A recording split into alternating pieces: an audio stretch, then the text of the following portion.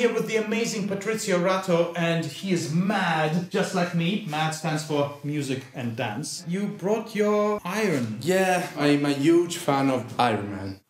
So I'm trying to be like him. Yeah, that's not how it works. He's Italian.